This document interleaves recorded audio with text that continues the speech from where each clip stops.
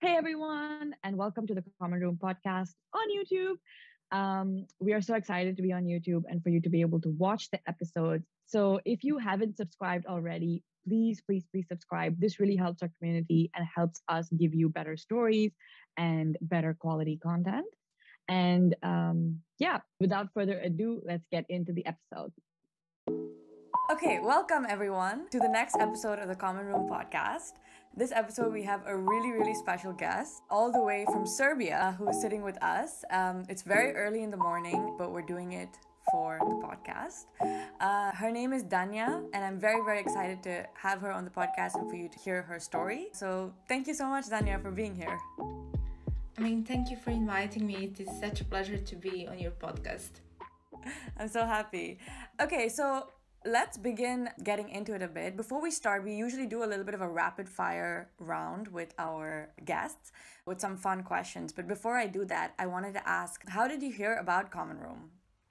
Well, that's an interesting story. I was actually the delegate in Youth for Climate uh, summit in Milan this year, and we have like a WhatsApp group and some delegate from other country. I don't remember which one at this point, uh, sent a link and she was like look guys this is very interesting podcast. You should check it out. And i watched the other episode with Johelina and i got very interested and that is how i actually learned about your podcast. And then later on i was invited to be a guest and i was really just thrilled um, because i have watched the episode and i've really much loved it That's amazing. I'm sure Johelina will be really happy to hear that. So shout out to Johelina from the last episode. Uh, if you guys haven't heard the last episode, go listen to it on all our podcast streaming platforms. Um, okay, well, let's begin then with the rapid fire round. All right. I hope I'm ready for that. well, the first question of the rapid fire is what is the last song you sang to yourself or listened to? That's a hard question because I don't usually remember that, but I do have a playlist of Weeknd's, so I guess it might have been some of his songs. Okay, amazing. And uh, what is one book you would recommend to uh, the audience listening in? Oh, that, that's also quite a difficult question because it depends if you like, you know, fiction, not fiction. But uh, one book that I will recommend would be Circular Economy. It is actually a book we got in Youth for Climate, which also has, apart from the value in terms of knowledge I've gained from reading the book, it also has a sentimental value to me. It is very much um, interesting concept and it explains it deeply but also for examples and I found it very much useful for my further work so that is something I would recommend to listeners. Amazing. I actually haven't read that, so I'm really curious to read it as well. Um, okay, third question. Um, if you could only eat one food for the rest of your life, what would it be? God, I have a sweet tooth, but I would say spaghetti probably with Italian sauce. I'm fancy. amazing, amazing. Pasta is always really good. Um, and finally, would you rather be blind, so not have uh, your eyesight, or would you rather not be able to smell and taste? Well, smell and taste. I mean, I'm not sure how I'd be able to get around uh, I mean, without any eyesight. Uh, okay, that was a, a really random question that I thought of just right now. So please don't come at me about the question. um, but thank you so much. This comes to the end of our rapid fire round, and I hope uh, our listeners have got to learn a little bit more about your quirky side. Um, let's move on now to the actual podcast. Okay, so Dunja, you and I have only met once before this, so I actually also don't know a lot about your story. I only caught a glimpse of it, and from what I saw, uh, you've done amazing things at only the age of 18, which is phenomenal. Uh, could you give us a quick rundown of actually what it is um, you do right now um, before we get into your past? So what is it that you're doing right now? And then maybe you can dive into like how you got here. Sure. So when when somebody asks me what are you exactly doing, I always get confused because I'm doing quite different things and I'm interested in so many um, you know different things that at the first glance aren't very much connected so i'm finishing audio and video design as well as the economics school which already uh, doesn't look like it goes together, but it sometimes um, it truly does. I do a lot of um, artistic things. For example, I like to paint in my free time, and I also did uh, this performance for concentration camp tour, which is uh, now coming up. Wow. Uh, yeah, the application is launching actually, so you are able to see it online currently, which is very exciting. Um, and I know this is the podcast about mostly environment, so I'm gonna try to focus on that. But if I um, am not quite focused on that, please tell me. No worries. Just share everything about your story. We're curious about everything. Okay, so uh, basically, from the last week on, I am the chair of uh, Children Youth in Agriculture, which is a program of GCYN. Uh, I am a licensed European Union and country coordinator in the same organization. Um, this year, I was the delegate of Serbia at Youth for Climate Summit in Milan. I'm also the European Climate Pact ambassador. I'm a global peace ambassador.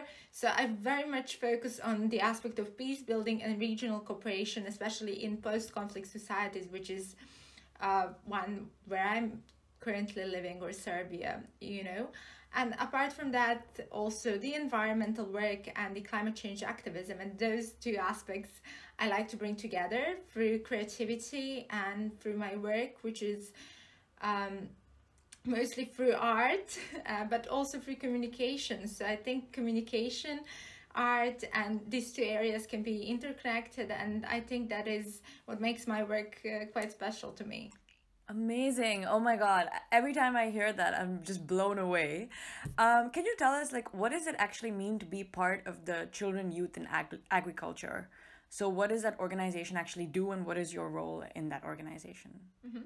So, Children Youth in Agriculture is actually one of our programs, which I'm leading now. Uh, but we have also Women uh, in Agriculture, which is another program. Uh, we are launching in January of 2022 as planned. Um, we have more than 130 membering countries, so we are launching in uh, all parts of the world. We are on every continent, which is quite exciting. And I feel honored to be the youngest member of the staff and uh, by far the youngest chair, the only chair, I believe, which hasn't received the university diploma yet. Um, wow. but yes, I, when I was starting, you know, agriculture wasn't something that I was very much interested in. I was mostly doing my activism through my journalism work, and through journalism, uh, I started as a TV host, then I transitioned into uh, written journalism, uh, mostly online written journalism, and for that, um, you know, I learned that I'm interested in all of these topics, but agriculture wasn't something I planned, and then I come from Milano and got quite a few, you know, quite a comprehensive knowledge about that. And then that is when i joined the organization and just learned about their work and got a bit more interested in agriculture and here i am. Amazing it has been a journey. That sounds absolutely fantastic. And you mentioned that you started this journey by being a tv host and then you got into written journalism um, so wh- at what age did you become a tv host? Uh, and how did that come about? Like did you decide wake up one day and be like okay i want to be on tv i mean i believe i was 12 or 13 when i started. So i i was five years doing um, i mean working on tv and it was every day because the show aired each day. So once a once a week we were filming and it has been you know, I, I am very grateful that I got quite a different life experience to many of my peers, especially in my country. You know, I grew up basically on TV, and so I'm very much comfortable with camera. And even now, when I'm speaking and uh, when I'm giving interviews or interviewing people, they're like, "Oh, you don't even, you know, see that camera is there," but it, it is truly like that. But it has been uh, so I started at the age of 12, so then around the age of 16, 17, I transitioned into written journalism, but uh, at some point there was both written journalism and TV journalism. But how I got the idea was that my mom is actually a journalist, and when I was really young, she used to work on TV. Uh, she was reporting from the conflicts from Serbia and Kosovo, Um, she was a TV reporter, so I used to watch her, and um, yes, I, I it that was very much dear to my heart. I was looking at her and was like, I want to be a TV host someday, and it just it Amazing. just happened. That's honestly so great. Um, and uh, yeah, I really think uh, being in television, especially at a very young age, can really help you like with public speaking, but also just confidence, right? And speaking in uh, with people, you don't really stutter so much. You're very like quick to like give responses, uh, and I can totally see that uh, during this interview. um, actually, it's not really an interview. It's more me being extremely curious about uh, your life and everything you've done. Um, but okay, well, uh, you also mentioned that you were a global peace ambassador, and I have always been fascinated by this term because I see it uh, with people and i'm always like okay what does it mean to be a global peace ambassador uh, so can you talk a little bit about that like what does it Mm-hmm. actually mean It basically means that we do a lot of promotion of the values of peace and the organization Peace Chain.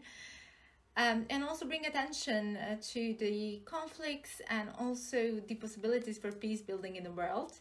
I was also the delegate at the Ubuntu Leaders Academy, which helped me a lot. It was the concept of Ubuntu.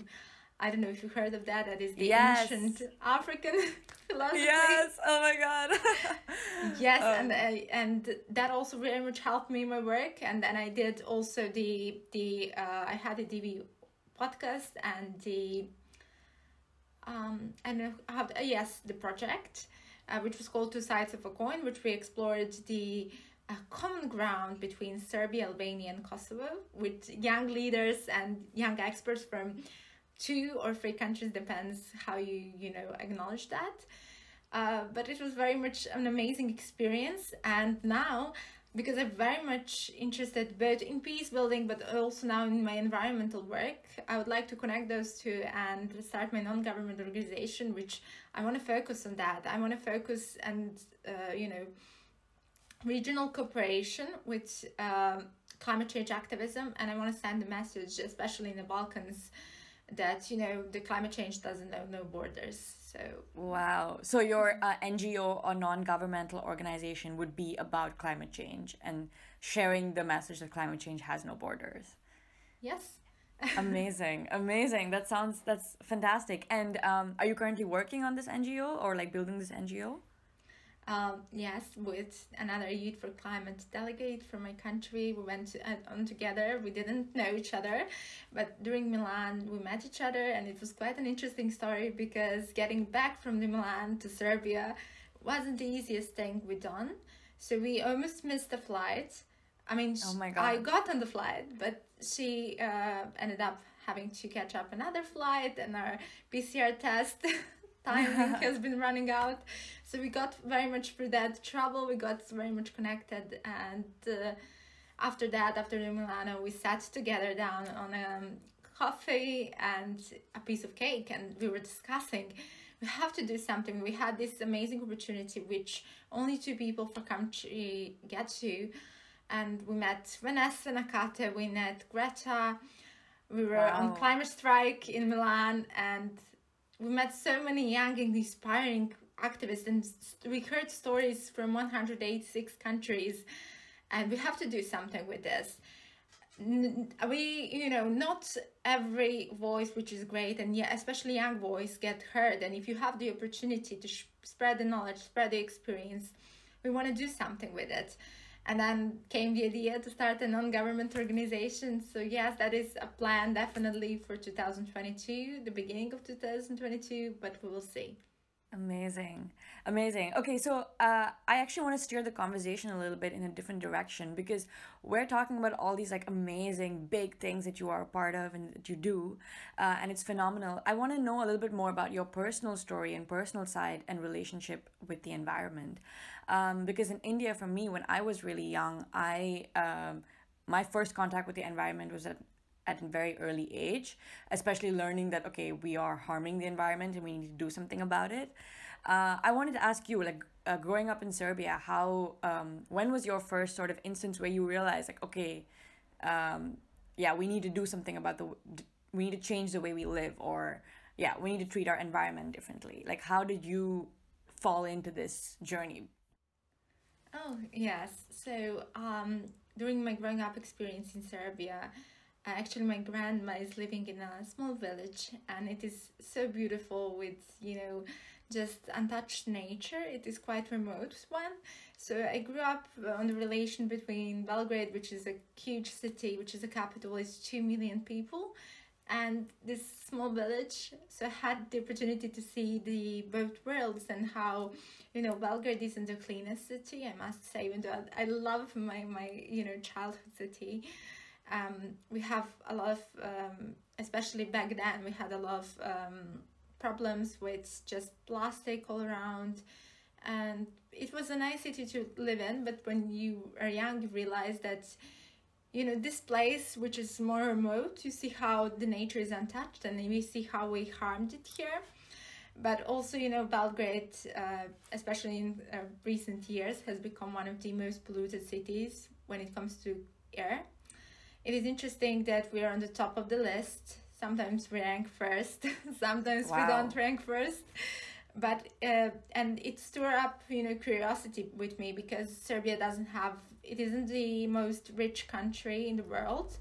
It doesn't have a good economy and it also doesn't have any almost um, heavy industry. So i'm you know still for a scientist it is quite um, an enigma why we have so much pollution because we don't have a good industry and uh, you know it is we use you know older cars that is and uh, many of the people use uh, still wood uh, for the um, heating. But apart from that uh, our air quality is quite bad and when you you know walk around the city and you see people wearing masks you're not because of the corona but because of the air pollution it starts wow. up in your mind hey we have to do something about it Amazing. Wow. I mean, I can imagine that that's very like strong imagery for you to yeah, get involved and actually start taking action. And uh, I wanted to ask you like what are some things that you do in your personal life that uh actually maybe let's start with do you identify yourself as an environmentalist? I would say that is a part of my my you know personality, but as I'm doing so many things, I cannot label myself. You know mm. if i would label myself one thing then that means that i am not able to do another thing. So i would like to say that i am fluid in all of my interests but i don't like labels yeah nice. Yeah we talked about this uh, with the previous uh, episode as well in a previous episode as well uh, with the whole idea of labels and how uh, some people like to use labels but uh, because it gives them comfort um, and some people don't like to use labels. And that's kind of what we're trying to do here with common room which is to understand what is really the issue with the environmentalist label right now and how we can sort of change that and get more people to operationalize on it and use it for be- for good you know um, and so I was thinking, like, uh, because you do uh, all these environmentally related things, what are some things you do in your personal life um, that uh, make you feel like you can fall under being an environmentalist? Well, I would say there are people who are quite extreme when it comes to this, but I believe if we make one small change each day, then that counts. It is not important that one person do all of the things and she isn't eating meat or he isn't eating meat and he um, tries to be as much you know to use um, less uh, of so-called not uh, uh, not clear energy than he or she does everything but the other person does nothing. It is important that we work together cohesively as a society to transition into it is called actually a green transition but i wouldn't say that it is only connected to using solar waves of um, you know energy but also trying to do small things in our daily life. For example can i walk to get day to the school? Uh, or should i take a bus that is one decision which doesn't make a lot of impact. And when you look at that you would think okay am i tired? Do i want to walk? But uh, the thing is the small decisions you make up during the year we have 365 chances to make our environment better.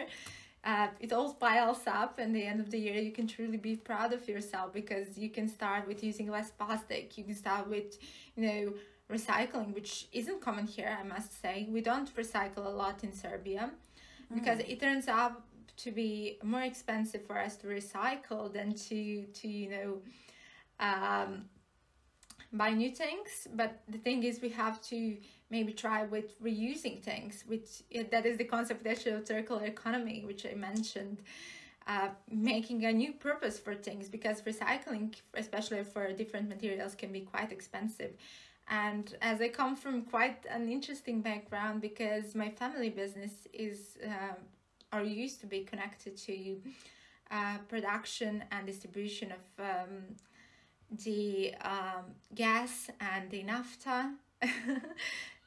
yeah, so it's quite a different. Uh, we don't do quite that. We transitioned. We don't do that. But now, uh, you know, my grandfather and you know people before him used to um, have the company which uh, concentrated on that. Now we do uh, mostly construction work, which is both uh, we use materials which are environmentally friendly, and we also uh, do um, the I don't know how to translate in English, but we um, actually build the houses which are self uh, resi- resilient. Resilient. Yes. Yeah. yeah.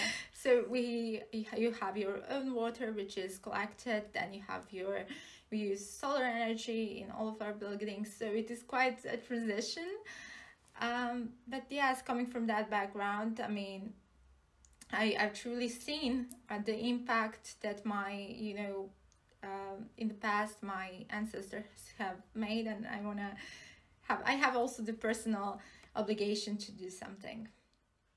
Amazing, amazing. And so you mentioned that you uh, almost treated like you have 365 chances uh, and you just take every chance uh, and at the end of the year you see okay what you've done uh, and it's really like every day is a new day and you get to start over again and decide what choices you make i love that i love that philosophy of thinking about it because i think that's very similar to my philosophy in the sense that i'm not uh, i'm a very like imperfect environmentalist uh, i'm in no means able to do everything all the time. Uh, so it's nice to think that, okay, I have 365 chances to do something uh, every time. Uh, I love that. Okay, great. Um, and to sort of round off this conversation, uh, I wanted to ask you what would be some advice or, uh, yeah, just something you'd like to tell uh, people who are listening in, especially uh, young people from all over the world who are now sort of awakening into their environment, young or old actually, who are awakening into their environmental journeys?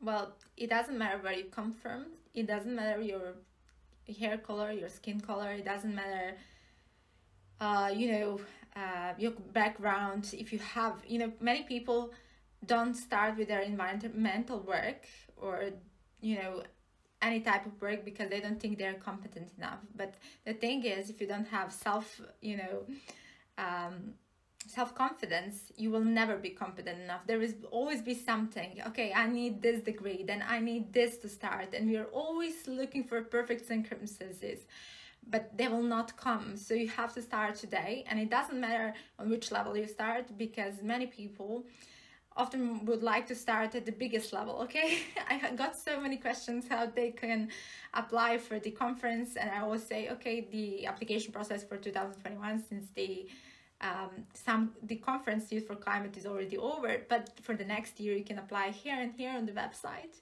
but the thing is they haven't done um, any environmental work prior to that and mm. i don't see there wants to, but they would like to go on the highest level, you have to start somewhere, and it doesn't matter how many people you impact. Even if you impact one person, that is already a great success. And you know, higher things and the things you perceive as more important will come with time, but you have to start somewhere and not chase too high.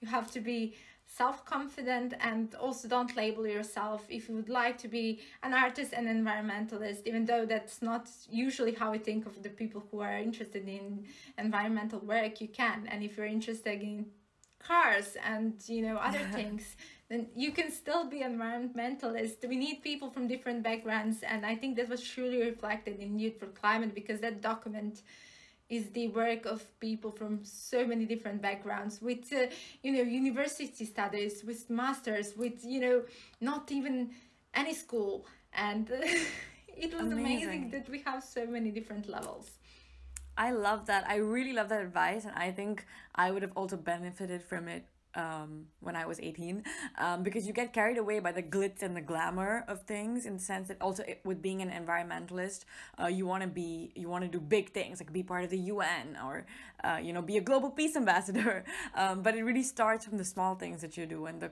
like the community impact that you make right? And the impact that you also make on yourself. So uh, I think that's actually really really um, important and valuable advice uh, that you gave. And uh, very wise for someone um, at your age.